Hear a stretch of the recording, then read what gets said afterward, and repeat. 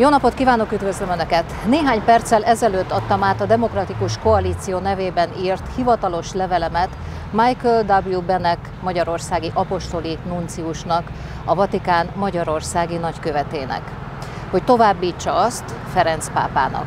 A római katolikus egyházfőnek írt levelemben beszámoltam róla, hogy őszentsége tavaly áprilisi magyarországi látogatására hivatkozva adott elnöki kegyelmet Novák Katalin a Bicskei Gyermekotthon pedofil igazgatóját bűntársként segítő férfinak. A Demokratikus Koalíció abban a reményben tájékoztatta őszentségét a köztársasági elnök döntéséről, hogy módot talál a béli közös meggyőződésünk kifejezésére, miszerint Jézus bármely szolgájára való hivatkozás sem nyithat utat bűnnel és a bűnösökkel való együttműködésre.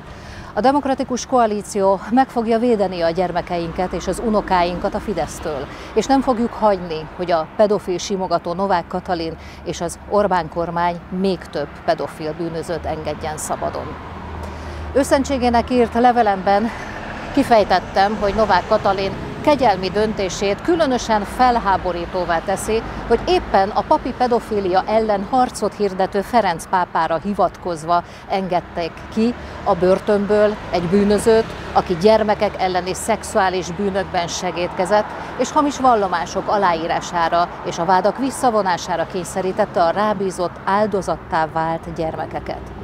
A Demokratikus Koalíció abban a reményben tájékoztatta őszentségét a köztársasági elnök döntéséről, hogy módot talál abbéli közös meggyőződésünk kifejezésére, miszerint Jézus bármely szolgájára való hivatkozás sem nyithat utat a bűnnel és a bűnösökkel való együttműködésre. A Demokratikus Koalíció meg fogja védeni a gyermekeinket és az unokáinkat a Fidesztől, és nem fogjuk hagyni, hogy a pedofil símogató Novák Katalin és az Orbán kormány még több pedofil bűnözőt engedjen szabadon. Köszönöm figyelmüket, viszontlátásra!